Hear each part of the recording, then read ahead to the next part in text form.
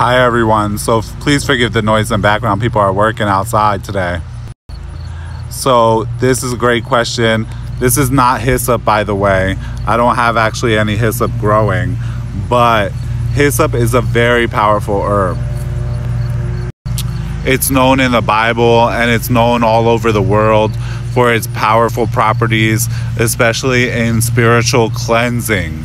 One of the easiest spiritual cleanses to take is to go ahead and bathe in boil a boil hyssop.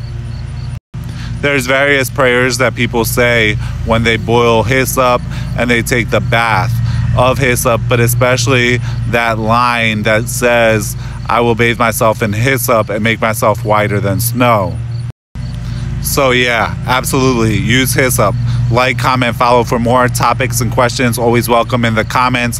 As always, want to destroy blockages, anxiety, stress, improve relationships, spiritually progress? Go to the link in my bio where you can book a session and apply to work with me now.